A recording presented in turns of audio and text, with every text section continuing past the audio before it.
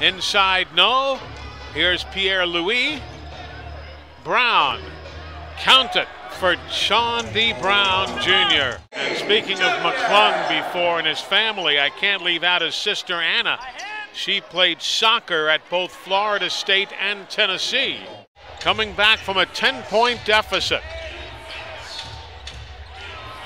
But you shoot like that, Chaundee Brown Jr. gets his team back in the lead. When you've got a 7 1 guy in your face, It's a little bit easier though if you're seven foot. And should we get an update, we'll certainly pass it along to you on Didi Louzada and his left knee. Nice dish inside by Jones, setting up Brown for two. He's got a double, a dozen so far tonight. And a pretty put in by Cameron Oliver.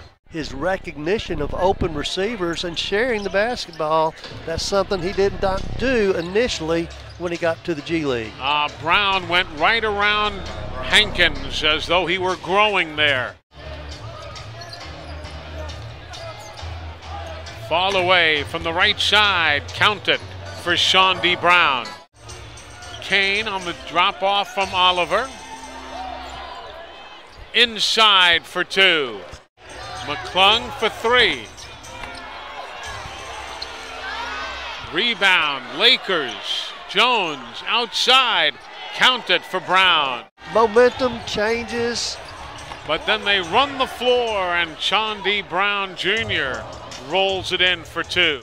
With so many guys getting called up, 62 is Will Davis, 11 is Elijah Kane. And counted from long range for Chaundee Brown Jr.